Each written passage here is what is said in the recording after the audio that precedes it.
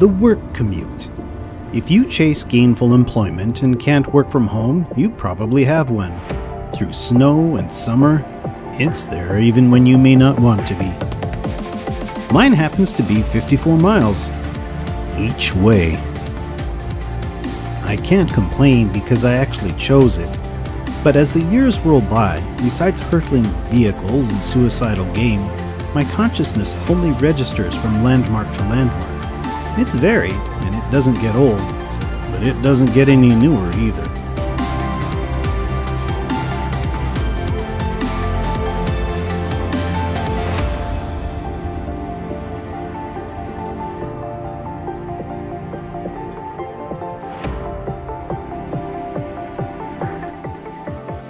Every day, I head south out of the valley, cross near the casino, cut east by the lakes, and up the river to my home away from home.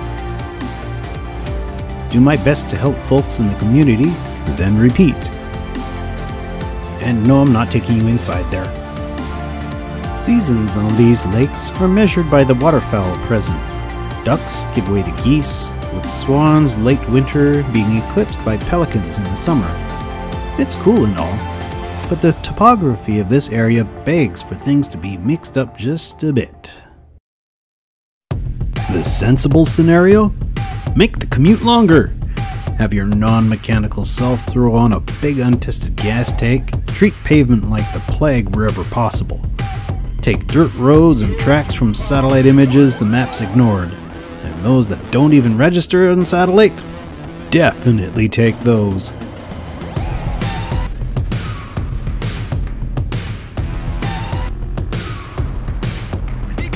A 170 mile solo ride as far from another living soul as possible sounds perfectly responsible. The ultimate mental health kick in the seat of the pants that no psychiatrist would ever prescribe. What a pity.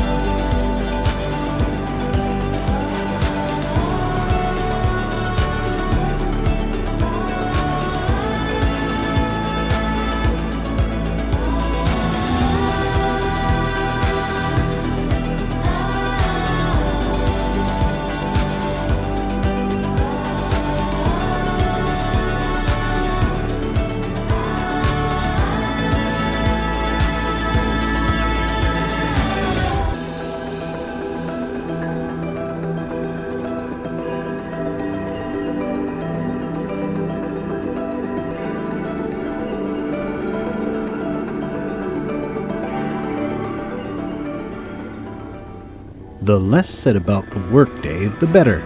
I arrived later than planned and left later than hoped, but I give it my all. I did. Then I headed north through the tallest mountain range I could find. Closed gates got me scrambling to find a way out. Eventually had to cut out and beeline home into the setting sun since my family expects me to live at home. Don't know why, really.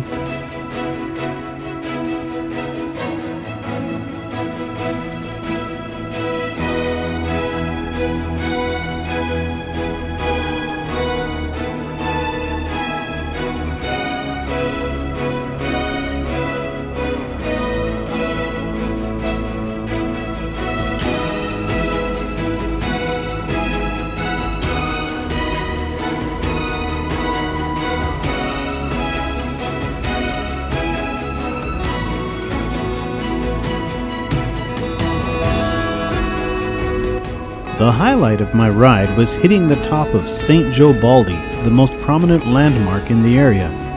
Locals in St. Maries say stuff like, When the snow melts off Big Baldy, the St. Joe River is warm enough to swim in. No, it's not. But it doesn't stop them from saying it anyway.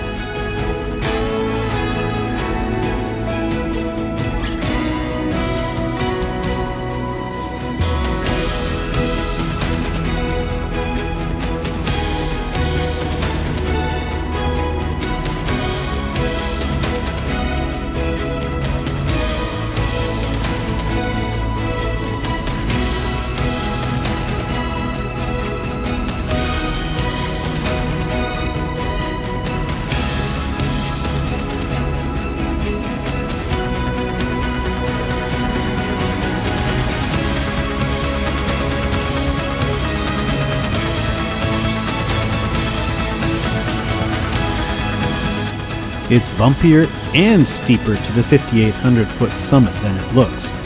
For the first time, I begin to wonder what would happen if I pitched over the edge.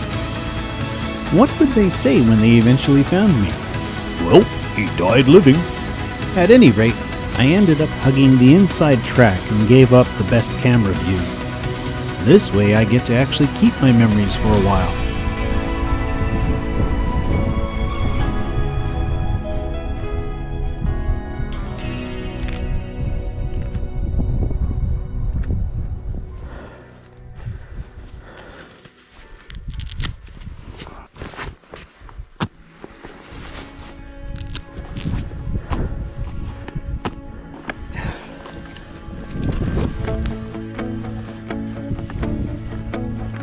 Well, hey, look who forgot to turn the camera off.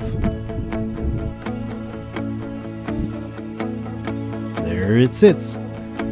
But the consolation prize is we caught a visitor.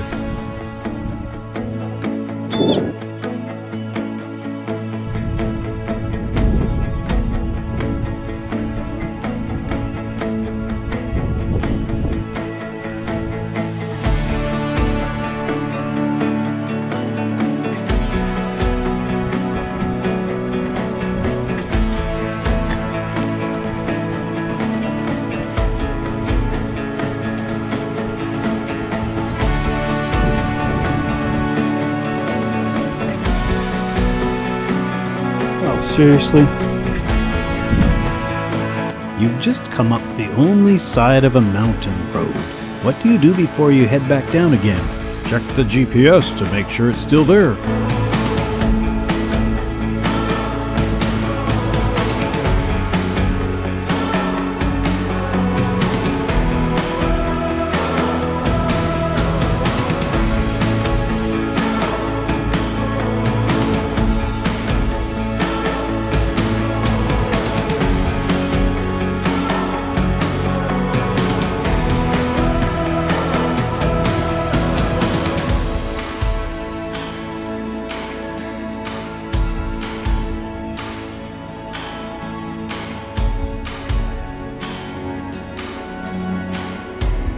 For you hiker types, that trail leads up a ridge and drops down to Crystal Lake. This is the lower trail.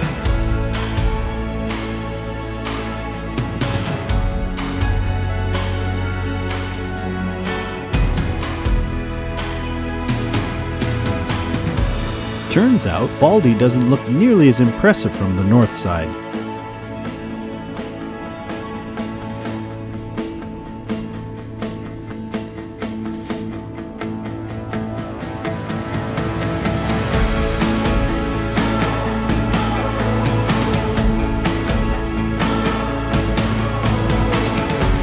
There's never enough time to see where all these places go. It'll have to wait.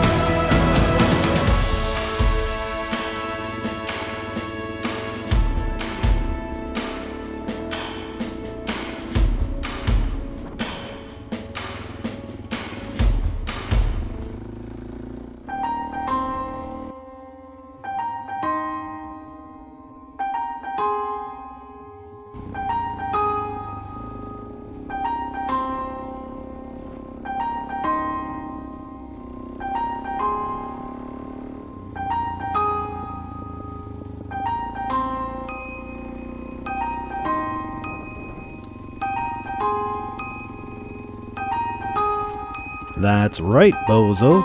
You're not on your carefully planned, spontaneous track anymore. Hindsight proved I should ignore the tracks and go with my gut, since closed gates put me right where I was going anyway. But no way down.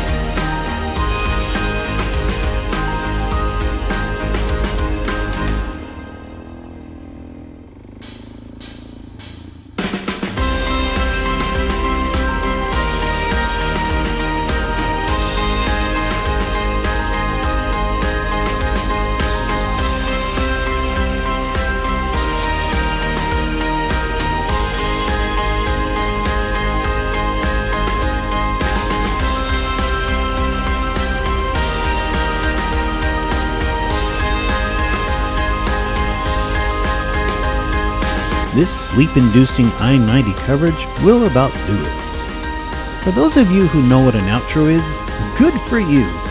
For those of you who don't know what an outro is, when I shot this, neither did I.